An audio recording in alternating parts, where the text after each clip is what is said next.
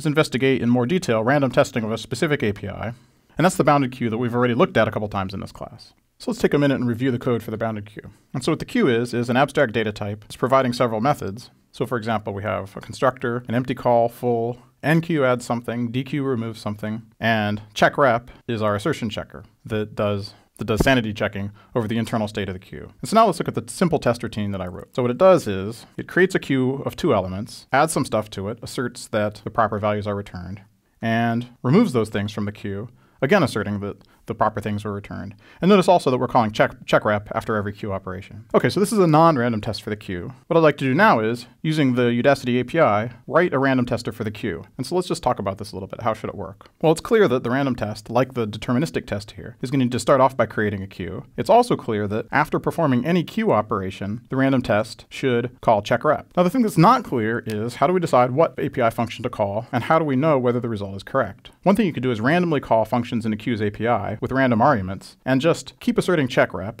and not really care what comes out. That is to say, you can just randomly invoke queue operations in a loop and wait for check rep to fail. Now, on the other hand, it's not that hard to do better. So the first thing is we know how many elements the queue holds, and we also know whether any particular addition or removal from the queue succeeds or fails.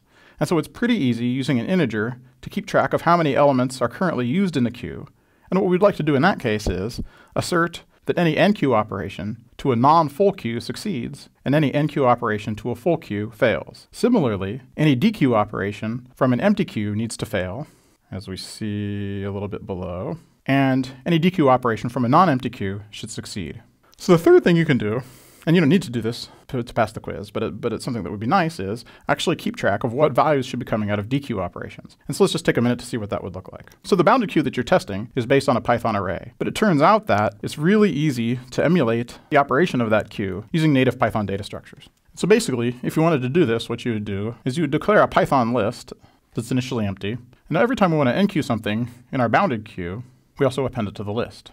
And we have to be a little bit more careful than this, because if the enqueuing of an item fails, we don't want to append something to our list. Now similarly, when we dequeue something from the bounded queue, if the dequeue operation succeeds, we want to issue l.pop zero. And so the way this works is when something gets appended to a list, it gets appended at the end, and l.pop zero takes something off the beginning. So basically, we're emulating a queue using native Python data structures. And our emulated queue isn't going to be as fast as the native queue, which is based on the array, but that doesn't matter for testing purposes. And so if we do these kind of operations, and we do them in a random testing loop, and we insert the appropriate check reps, then we can build really a quite effective random tester for the bounded queue using not that, not that many lines of code. So what I'd like you to do now is go to the API, and write a small random tester for the queue.